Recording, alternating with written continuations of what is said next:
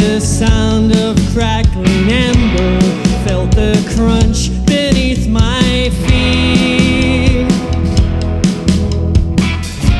And I can handle the creeping darkness if I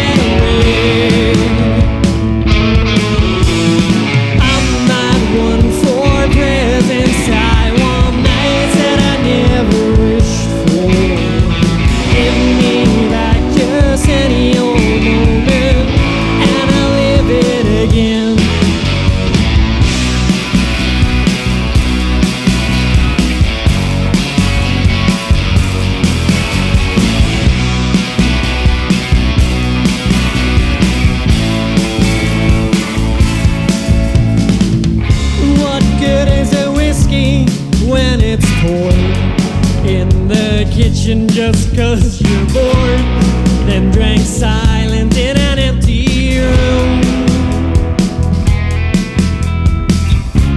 And I can handle the creeping darkness. If I'm permitted to mark this Here as another one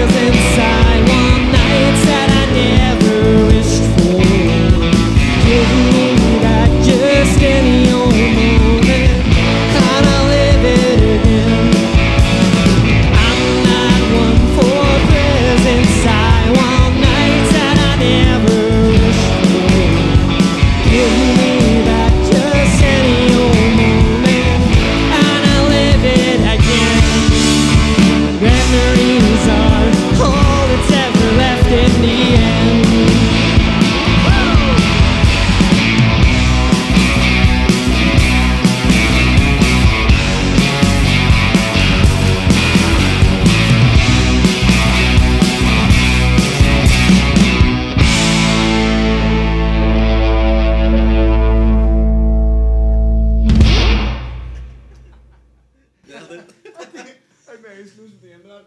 And then I, I look, I looked up news rolling up, and I was, and I was, and I was like,